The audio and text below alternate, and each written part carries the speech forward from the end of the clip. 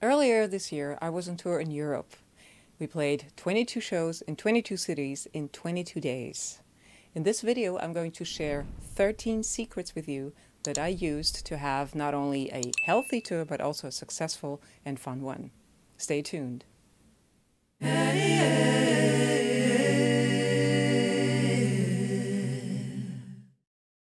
Hi guys!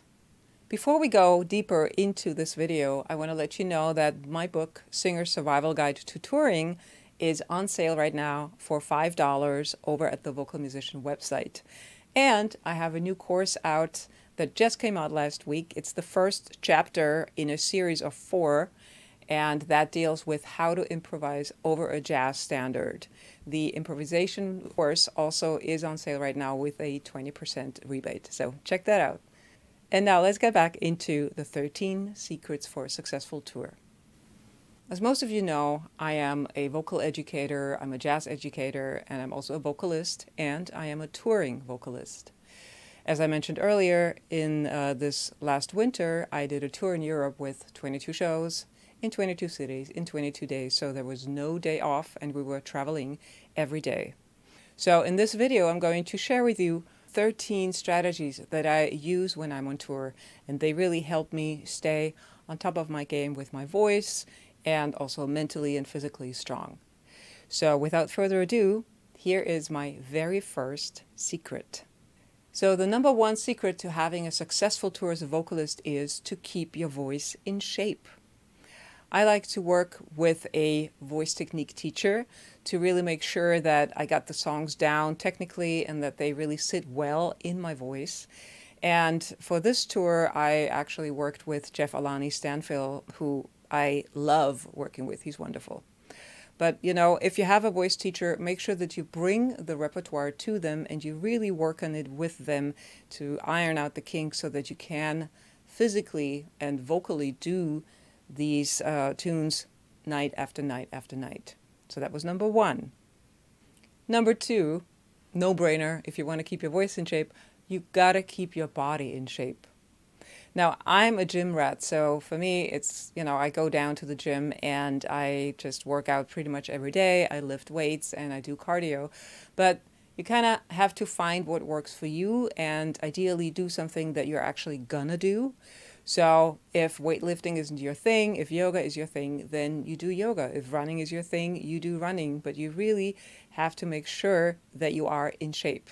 You have to address this whole touring business as a athlete. You are an athlete and you are a vocal athlete. So with that mindset, you really got to look at okay, I got I got to be physically strong, I got to be vocally strong, and I also have to be mentally and spiritually strong. But more on that later.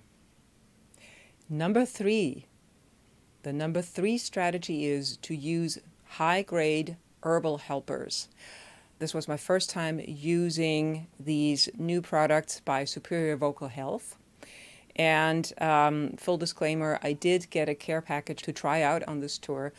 Um, but I have to say that they were really, really helpful. And so the main one that a lot of people that I've heard of actually use is the um, Superior Vocal Health Throat Saver Spray.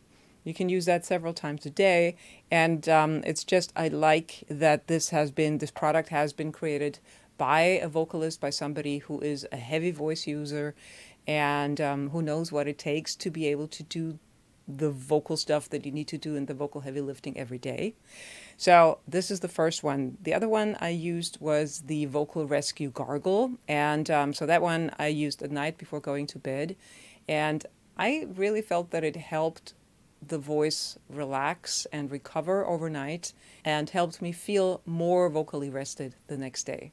And the third product of theirs that I used was actually the Sinus Cleanse, which I didn't expect I was going to use, but when I started using it, I really liked it. It's fairly strong, but it also has um, a nice effect on the sinuses and it really cleans everything up and clears everything up in your sinuses. So those are the three products that I used and I highly recommend to add these to your arsenal when you're going on tour. Secret number four I use a nebulizer.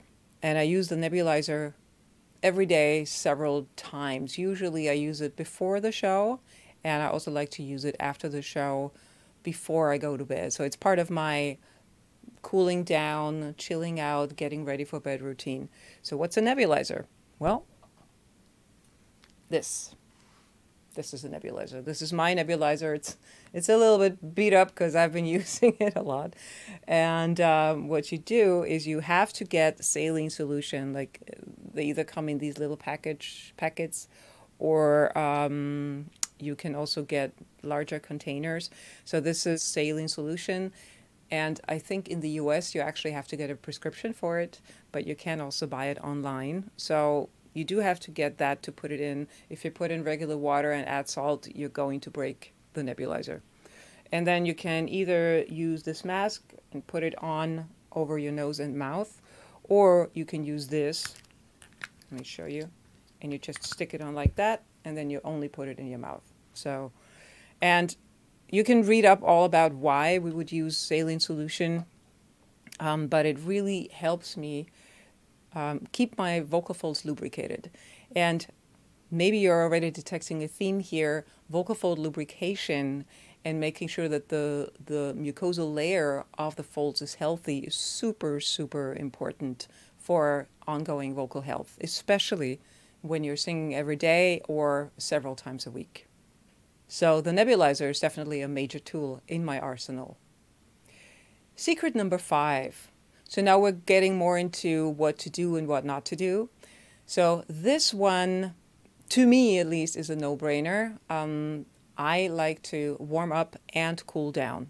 So warm up before the show for about 20 minutes, maybe 30 minutes, depending on how I feel on any given day, and also how much tender love and care my voice needs. And then after the show, if at all possible, I like to cool down for five to 10 minutes. It's not always possible to do it right after the show because sometimes there is some mingling that you just have to do that you know you have to you, you do also want to mingle like you want to see your fans and you maybe a family is showing up you want to see your family but i would still highly recommend um, that you at least take five minutes and i've done i've done cool downs behind the curtain in the bathroom on stage um, whenever there was just no backstage room, which you know can happen very easily when you're on tour.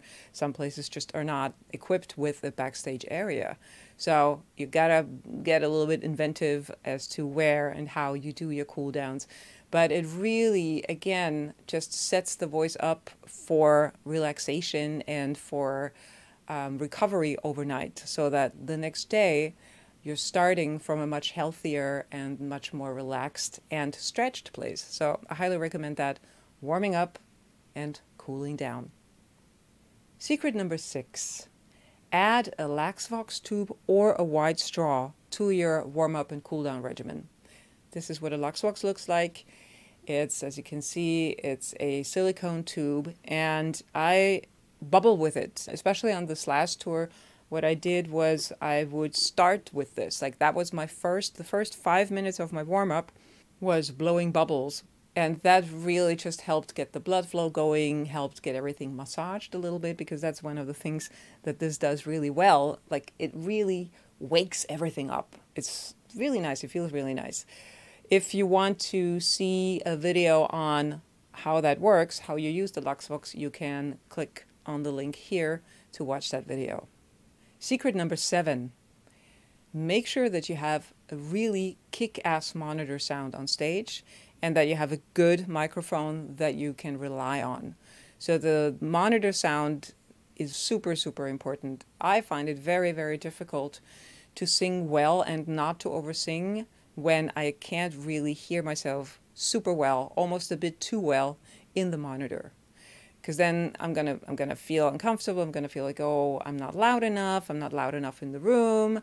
I need to sing louder, which is not an issue if it's one or two shows. But if you're singing show after show after show after show, you really need to make sure that you are singing in a comfortable and sustainable volume and sustainable intensity. So monitor sound is key.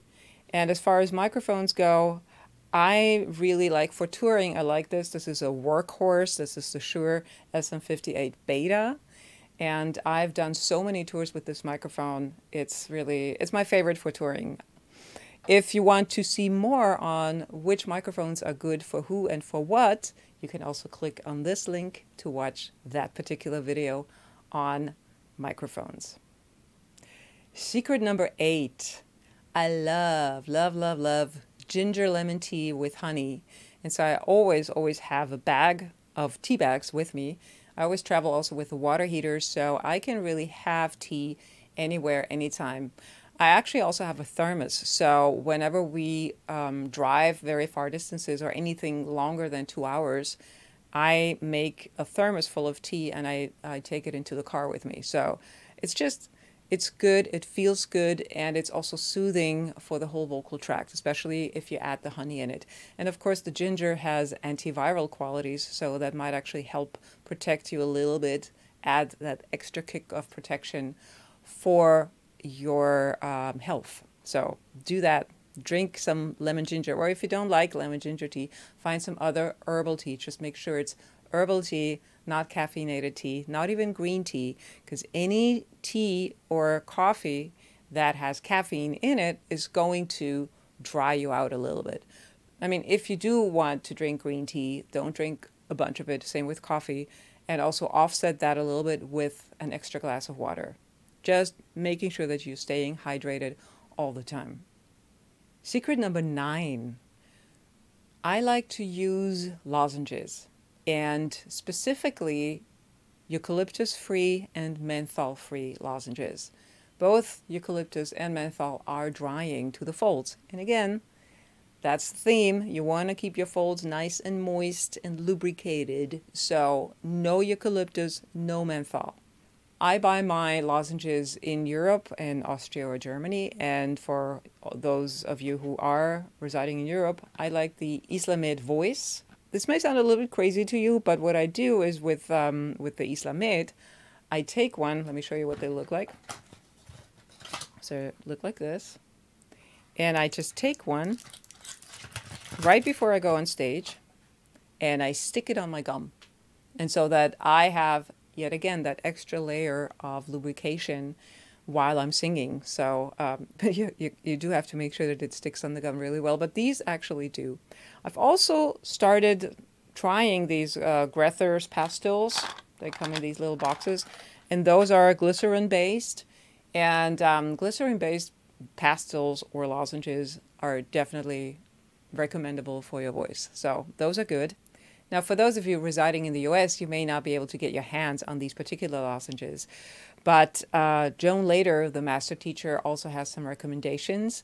And I heard her talk about that on the podcast, The Visceral Voice, which is very, very interesting, by the way. And her recommendations are Fontus lozenges, and these are created by Caitlin Hopkins, and Wedderspoon Organic Manuka Honey Drops. So those you can also check out. And those you can actually get here in the US. So that should be helpful to you as well. Secret number 10 let other people do the talking. It's important to give your voice a rest. So, when, especially when you're singing every day, you do want to have maybe two hours here and there, or at least a full hour here and there, where you're not talking, where you're just letting your voice chill out and um, really do nothing. And if that's not possible, then make sure that other people talk more than you. So, one strategy that I have is first of all, I love it when I meet talkative people because that's great. I can just ask them a question and then I can spend the rest of the time listening to what they have to say. And a lot of times it's actually quite interesting what they do have to say, and I can at the same time relax my voice. So ask a question most people would like to talk. Most people have something to share that might actually also be interesting. So you might as well actually be learning something in the process of resting your voice. Secret number 11, that's probably going to be a very unpopular one. You want to avoid alcohol. Not surprising to anybody, alcohol is drying as well. So, um, same as with coffee and with tea, it's just not really that great for your voice. And so, if you do drink alcohol, again, you want to offset it with water. And it might also be good not to do it right before you go to bed. So, really, ideally, stay away from it. And, and if it happens once or twice, that's not a problem. But, you know, just be aware that it will affect your voice over time. Secret number 12 not a secret at all. You gotta sleep. Sorry, singers. Can't party. If you only have one, two, maybe three shows, yeah, sure, you can go out there and party. Uh, or maybe you have a very, very strong constitution, then, you know, more power to you. I cannot party. I am the singer who has to go to bed. I am the singer who leaves right after the show or very shortly after the show and goes to the hotel room and chills out and uh, you know relaxes and I do my nebulizer and I you know prepare for bed and I take my my gargle and I'm pretty much silent and then I just try to sleep because we need that. We need to recharge not only our voice, but we also need to recharge our entire body because, again, we're vocal athletes. And vocal athletes use their entire body, and traveling is hard, touring is hard. It's, it's just physically exhausting. And so you really want to give your body the rest that it needs. So go to sleep. Finally, number 13, the last on this list, but definitely not the least important. Practice nasal breathing or practice paced breathing box breathing, or breathwork of your choice, whatever helps you to spend more time in the parasympathetic nervous system. That's the part where we feel more comfortable. We're not fighting, fleeing, but it's also called the tend and befriend or the rest and digest system. So you really on tour overall, you want to spend more time just chilled, basically, like chilled out and calm as calm as possible. And that also will help you not catch colds. It will help you sleep better. It will help your overall well being. And um, I think you're also going to be probably nicer to be around. So I do these in the car, you know, when we drive for hours. I will do five minutes, for instance, five minutes at a time of paced breathing. And my favorite rhythm there is four counts of inhale and six counts of exhale. And if you want to find out more about nasal breathing, paced breathing, um, breath work, I highly recommend um, the app by Kim Kraushar that is called Breath by Design. And it's a brand new app, and you, uh, she does such great work and has done such deep research that I believe it's going to be beneficial for anybody who checks it out. I actually did an interview with her last year, and you can check out that interview right here. And that concludes this video on the 13 secrets of having a successful tour. I do hope that this video has been useful to you and that you're getting useful information out of it that you can then apply to your own singing and to your own performing. One more time, my book, Singer Survival Guide to Touring, is on sale right now, as well as the first chapter of the course on how to improvise over a jazz standard. So head on over to www.vocalmusician.org and check it all out. If you would like me to do an individual video on any one of these things and go deeper into any one of these things, just let me know in the comments and maybe there will be one coming up soon. See you next time.